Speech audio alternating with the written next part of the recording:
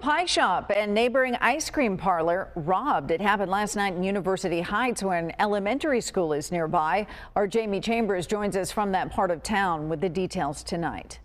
Well, workers this evening are boarding up two doors that were smashed into by a group of burglars who made it inside, risking everything, but in the end, got away with nothing. At first blush, everything looks normal at the Stella Jean's handmade ice cream shop, but then you realize the glass in the front door is missing. And it's the same thing for the Pop Pie Company. The damage to these two businesses were the handiwork of what would be four burglars working in the middle of the night with less than sweet intentions. It's really heartbreaking because it's such a great business. Yeah, it's, it's real disappointing. Uh, I'm surprised somebody didn't see anything. Yeah, it's right on the main intersection here. The four alleged would-be thieves might have had an even worse night than the owners of the Pop Pie Co. or Stella Jean's Ice Cream when they saw the sign hanging on the back of the wall for all to see. I really am not sure what anyone was after for Stella Jean's at least, unless they didn't see through the window that there's a sign saying no cash that's been there forever. And with no cash lost, the doors reopened and the neighborhood came back in full force demanding their favorite flavors. Vanilla and strawberry.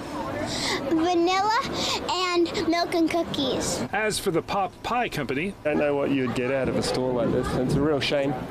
But they'll recover, you know, and it's a great place. So, you know, there's usually a line out the ice cream store. We live two, three blocks away, but it's not really going to make me any more anxious about living in the neighborhood. The Pop Pie Company is currently expanding to Pacific Beach, and workers tell me that they want everyone to understand that they carry little to no cash on hand. That's the very latest from University Heights. Jaime Chambers, Fox 5 News.